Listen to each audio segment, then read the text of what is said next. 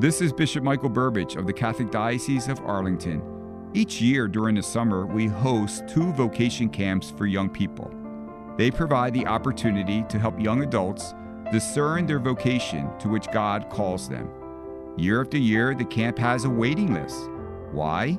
Well, in today's society, we move at a breakneck speed with little time to reflect or simply to stop and ask God, What is it you want me to do with my life? Often young people are stereotyped as being uninterested in religion or deep questions. That is simply untrue.